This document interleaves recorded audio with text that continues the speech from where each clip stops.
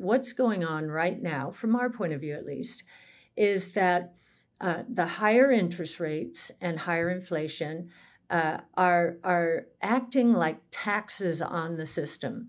And we've been talking for a while about this, about uh, consumption slowing down dramatically if you look at retail sales. And I'm talking about real retail sales, take out the inflation and uh, real consumption. Uh, we've seen a dramatic uh, slowdown since, uh, since October, and we are beginning to see inventories pile up uh, all of that uh, is is working out the way we expected it to. Our surprise is that uh, many economists and strategists out there aren't putting two and two together. They're paying attention to other variables, which uh, there are uh, conf- there is conflicting evidence, but um, they're paying attention to other variables that support their point of view. In her 33 minute Big Ideas report, Cathie Wood of ARK Invest spoke at length about various topics, including monetary policy, fiscal policy, market signals, and innovation. Wood was very clear about her stock picks being down 75% at one point, but she suggests that the reason behind this is because her firm is as close to venture capital firm in the public equity market as you can find, meaning in the short term, her stock picks are seen as high risk because she is early. But according to her five year time horizon, she will win out big. Wood proclaims that innovation solves problems, and we have a lot of problems to solve in the world right now, which is why she's so bullish on her innovation platforms. Wood considers that the geopolitical turmoil between Russia and Ukraine has escalated the timeline for these innovations to mature and that consumers will eventually turn to innovation to combat everything that is coming. We are already seeing glimpses of this with Bitcoin donations to Ukraine and the Canadian truckers. Have a listen to Cathie's analysis. Uh, so we've already made the assumption that the valuations are, are going to come down.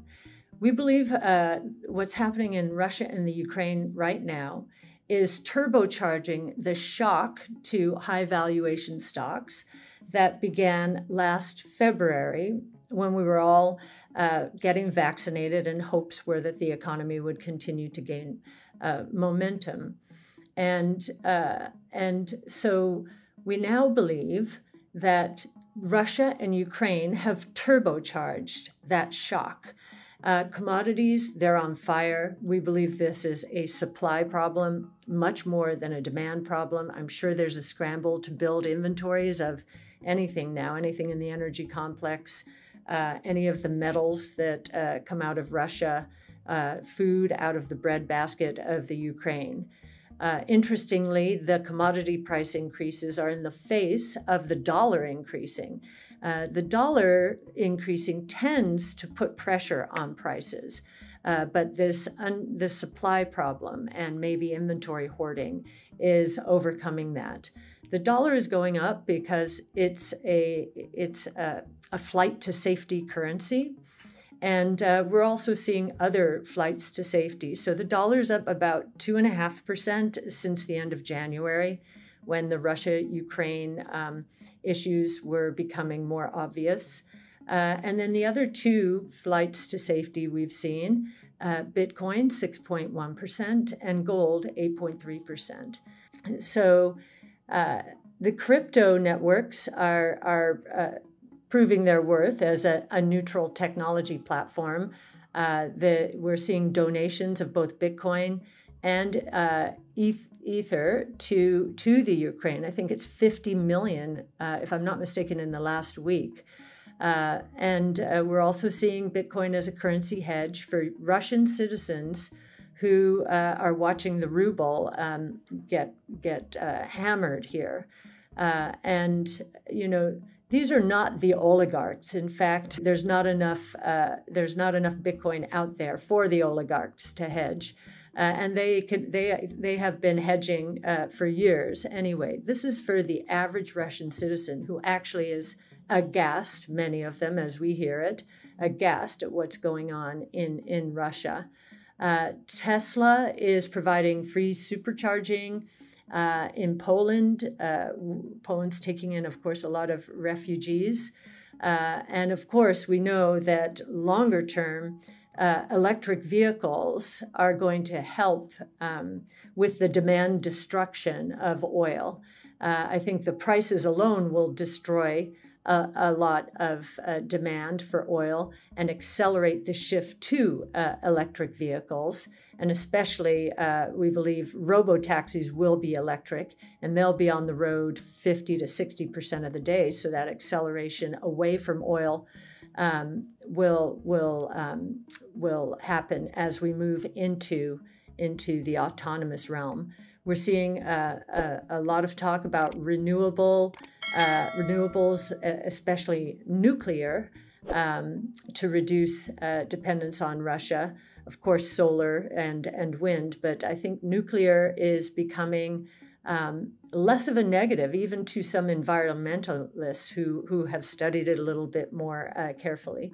Um, we're seeing uh, we're seeing, of course, the social platforms providing real real-time updates and providing, you know, a, a, glimpse into the horrors that are taking place there. And I think that has put a lot of pressure on um, financial institutions and others uh, to boycott uh, or stop doing business with Russia. It's terrible for Ru- the, the Russian citizens who do not want this invasion. Uh, but uh, I think we've never seen uh, the financial system used as such a weapon, uh, and uh, we'll see. We'll see if it works. Um, we also know about Starlink. I think um, the president of Ukraine reached out to Elon Musk and say, "Hey, we're being cut off out out there," and of course. Elon sent Starlink to the rescue. Uh, so uh, that that's phenomenal. That's phenomenal that uh, we can continue to uh, communicate with these people, and again, everyone around the world can see the horror uh, that uh, that Ukraine is experiencing. So while the public markets don't appreciate what's going on in the innovation world, in fact, quite the opposite, they have taken a sledgehammer to, to these stocks in the last year. The private markets uh, certainly appreciate what innovation can do and will do uh, to help solve the problems that have have um, arisen from the coronavirus crisis, uh, the supply chain problems, now uh, Russia and and the Ukraine. Um, according to a study that um, Max Friedrich, uh, uh, our, one of our fintech analysts, uh, has done using Crunchbase, the Crunchbase database, uh, it looks like while uh, innovation stocks in the public markets have have dropped, certainly pure play innovation, those that are not in the indexes, those in the indexes are uh, uh, the the innovation stocks in the indexes tend to be a little more old world. We even see from from Meta platforms, uh, formerly Facebook, that the once disruptor is being disrupted. Uh, but uh, if you look at the non-benchmark uh, innovation uh, stocks, uh, you'll see that they're down 60, 70%. So it's a replay of the COVID crisis. And as we said back then, innovation solves problems. Uh, and I'll say it again because it is true. What we're seeing the private world uh, do is actually um, uh, move into up rounds over the last 20 years. The uh, 20 years, the last year, uh, the average up round has been 20%. So down 60% in the public markets, up 20% in the uh, in the private markets.